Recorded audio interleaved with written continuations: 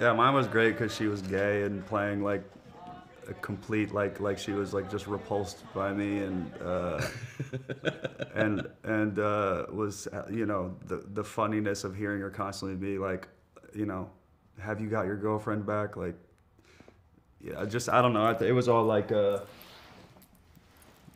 it was funny because it was such a juxtaposition to real life so it was nice. And like and I always think I think she's like comedically genius so it's nice to like be able to tap into that side of her as well you know to get that out of her because you know we- we've seen her like drama act we've seen her act in action films we've seen you know and then we've seen her do new girl jennifer's body and these like really comedic roles and stuff and i really wanted to access that because that really also seems to resonate with so many people that when we're when we're out like that come up to her and you know talk about her work those are constantly coming up and i think it's because she's like really funny